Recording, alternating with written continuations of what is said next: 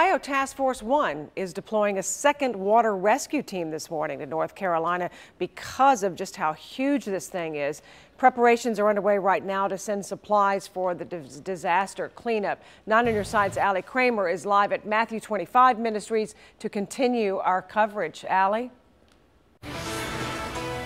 And Julie, exactly. Matthew 25 is interesting because they don't actually head out to these disaster areas or to the towns that are being hardest hit by Hurricane Florence until after the hurricane actually hits because they're there to rebuild those communities and to bring those supplies to them uh, to start to recover. But as you mentioned, and it is interesting, and you saw last yesterday morning here on Good Morning Tri-State, Ohio Task Force One sent uh, its first water rescue team uh, down to Kinston, North Carolina and we've learned that they are now sending that second team, 16 people, part of that water rescue team that's leaving out of Kettering up near Dayton early this morning, and they're actually being deployed to Raleigh, North Carolina. Of course, they are getting there before the storm actually hits, or at least trying to.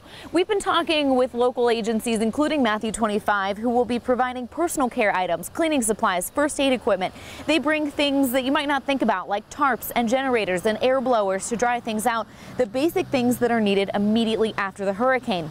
Now, their assistance is actually best utilized after the hurricane hits because they have a network of nonprofits that can help distribute these supplies. The supplies are being loaded into semis now, and then those semis, they roll out as soon as they get the call.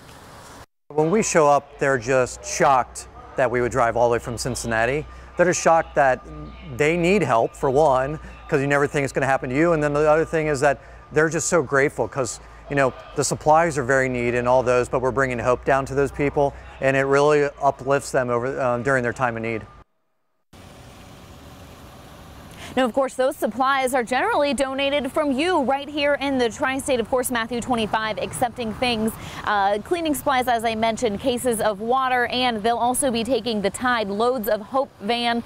They are loaded up already, ready to help people with some of the basic necessities. Just having clean clothes can be so important and can really lift spirits down there. We're going to post a link on WCPO.com with how you can help locally as well.